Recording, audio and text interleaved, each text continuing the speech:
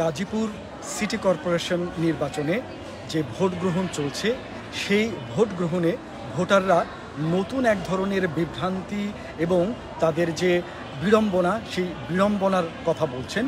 আমরা এ পর্যন্ত ছয়টি স্কুল, কলেজ এবং মাদ্রাসার বারোটি ভোট কেন্দ্রে ঘুরেছি। সেই ভোট কেন্দ্রে ভোটাররা বলছেন যে বিভিন্ন ভোট কেন্দ্রে ঢোকার প্রবেশ পথে যে আইন শৃঙ্খলা বাহিনীর সদস্যরা দায়িত্ব পালন করছেন, সেই আইন শৃঙ্খলা বাহিনীর মধ্যে পুলিশ এবং আনসার যারা গেটে দায়িত্ব পালন করছেন, তারা ভোটারদেরকে বলছেন যে মোবাইল ফোন নিয়ে কেন্দ্রে ভোট দেওয়া যাবে না। তো এই বিষয়টি নিয়ে ভোটাররা তাদের বিড়ম্বনার কথা বলছেন, তাদের অসন্তোষের কথা বলছেন।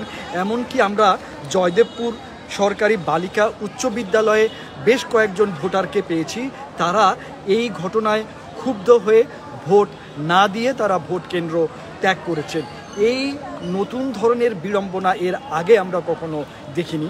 তবে এই বিষয়টি নিয়ে আমি কথা বলেছিলাম জেলা প্রশাসক আনিসির রহমান এবং রিটার্নিং অফিসার ফরিদুল ইসলামের সাথে। সরকারি সরকারি যে জয়দেবপুর সরকারি বালিকা বিদ্যালয়ে আমার সাথে ওনাদের কথা হয়েছে। ওনারা আমাদেরকে আমাকে যেটি বলেছেন যে আসলে এই রকমের নির্বাচন কমিশনের পক্ষ থেকে এরকমের কোনো নির্দেশনা দেয়া হয়নি। যেটি বলা হয়েছে সেটি হলো যে ভোটাররা ভোট কেন্দ্রে প্রবেশ করবেন, মোবাইল ফোনটি সুইচ অফ করে এবং তারা ভোট কেন্দ্রের মধ্যে কোনো ধরনের ছবি তুলতে পারবেন না। দুজনেই আমাকে বলেছেন যে রিটার্নিং অফিসার এবং জেলা প্রশাসক, তারা বলেছেন যে বিষয়টি নিয়ে হয়তো ভোটারদের মধ্যে কোনো বিভ্রান্তির সৃষ্টি হয়েছে। তারা এই ধরনের বিভ্রান্তি ভুলে ভোটারদেরকে স্বতঃস্ফূর্তভাবে ভোট কেন্দ্রে আসার অনুরোধ জানিয়েছেন। আর ভোটের পরিবেশ নিয়ে যদি আমি বলতে চাই, সেটি বলব যে আয়তনের দিক থেকে দেশের সবচেয়ে বড় সিটি কর্পোরেশন নির্বাচন, গাজীপুর সিটি কর্পোরেশনের নির্বাচন চলছে। সকাল আটটায় শুরু হয়ে এখন প্রায় দুটো বাজে। তো এর মধ্যে আমরা যেটি অ্যাটলিস্ট বারোটি ভোট কেন্দ্রে আমরা ঘুরেছি, সেখানে এক দুটি ভোট কেন্দ্রের ব্যতিক্রম বাদ দিলে বলা যায় যে ভোটারদের মধ্যে যে ভোটের যে ট্র্যাডিশনাল যে উৎসাহ, উদ্দীপনা, প্রতিদ্বন্দ্বিতা, এগুলো আমরা আসলে সেইভাবে লক্ষ্য করিনি কোনো ভোট কেন্দ্রে। ভোটার, আমি যদি এই ভোট কেন্দ্রের আপনাদের দেখাই যে এই ভোট কেন্দ্রে এখন দুটা বাজে এবং আর মাত্র দুই ঘণ্টা আছে ভোটের। ভোটারের সংখ্যা ভোট কোনো ভোটার দুই একজন করে আসছেন, চলে যাচ্ছেন। বাট সেই অর্থে যে ভোটারদের দীর্ঘ লাইন সেই লাইন আমরা কোথাও দেখতে পাই নাই এবং এই ভোট কেন্দ্রটি মহিলা ভোট কেন্দ্র। এখানে আমরা সচরাচর দেখেই যে ভোট ভোট কেন্দ্রগুলোতে মহিলাদের দীর্ঘ লাইন থাকে। তো আমরা এই ভোট কেন্দ্র এবং অন্য যে ভোট কেন্দ্রগুলো আমরা ঘুরেছি, তার বেশিরভাগ ভোট কেন্দ্রেই আমরা মহিলাদের যে ভোট কেন্দ্র, সেগুলোতে দীর্ঘ লাইন আমরা লক্ষ্য করিনি। তবে মদিনাতুল উলুম হাফিজিয়া মাদ্রাসা, এই ভোট কেন্দ্রে আমরা মোটামুটি ভোটার পুরুষ যে ভোট কেন্দ্র এবং মহিলা ভোট কেন্দ্র, সেখানে ভোটারদের মোটামুটি লাইন আমরা লক্ষ্য করেছি। একটা জিনিস বলতে চাই যে ভোটারদের ভোট কেন্দ্রে যত না সংখ্যক ভোটার উপস্থিতি, তার চেয়ে প্রতিদ্বন্দ্বী যে প্রার্থী আছে, তাদের কর্মী সমর্থক নেতাকর্মী ভোট কেন্দ্রের বাইরে তাদের জটলাটা আমরা বেশি দেখেছি। আর এই নির্বাচনে মেয়র পদে মোট আটজন প্রতিদ্বন্দ্বিতা করছেন।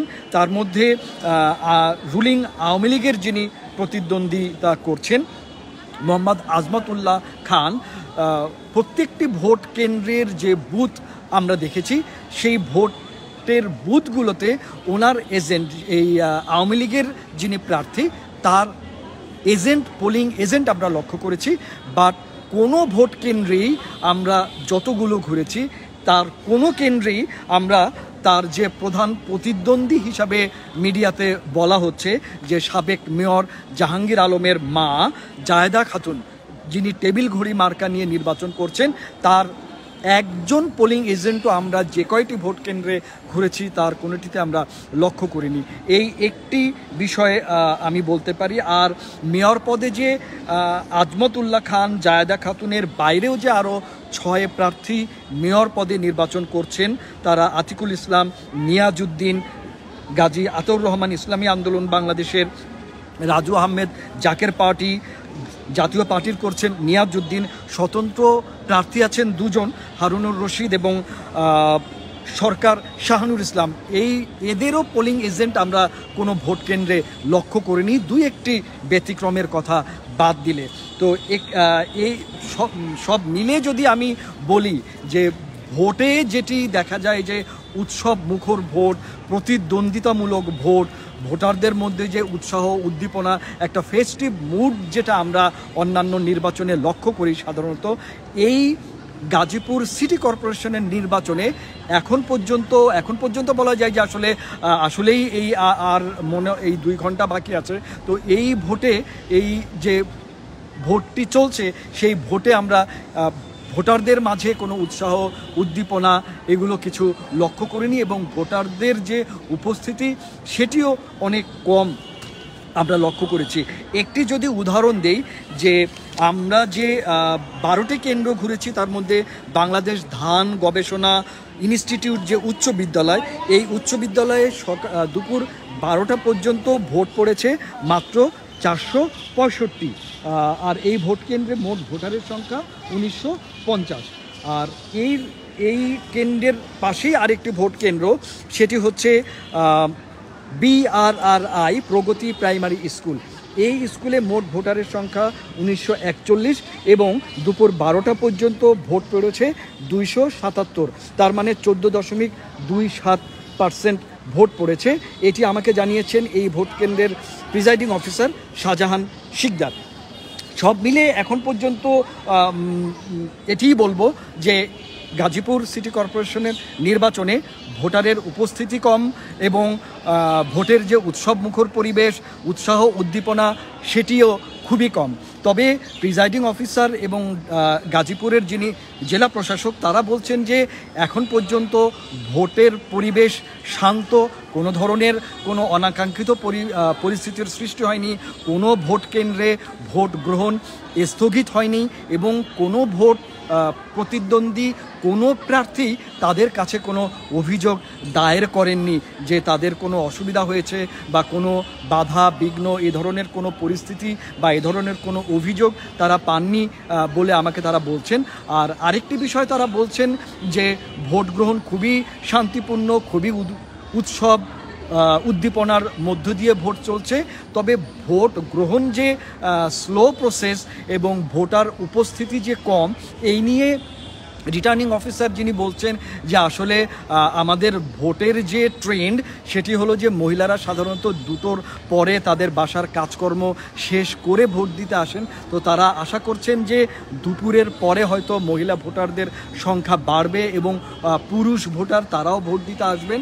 আর ভোটিং প্রসেস যে স্লো ভোট কাস্টিং প্রসেস স্লোর বিষয়ে যে ভোটারদের অভিযোগ, সেটি নিয়ে বলছেন রিটার্নিং অফিসার যিনি আমাকে যিনি আমাকে বলেছেন যে আসলে এই গাজীপুর সিটি কর্পোরেশনে অধিকাংশ ভোটার ভোটারের সংখ্যা যদি আমি বলি, এগারো লক্ষ উনআশি হাজার চারশো ছিয়াত্তর ভোট।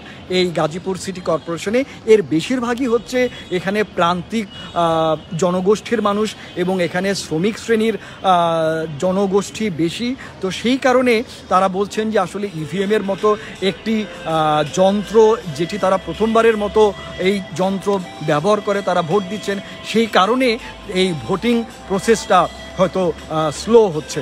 তো গাজীপুর সিটি কর্পোরেশন নির্বাচন থেকে এই ছিল ডেইলি স্টারের দর্শক এবং পাঠকদের জন্য সর্বশেষ।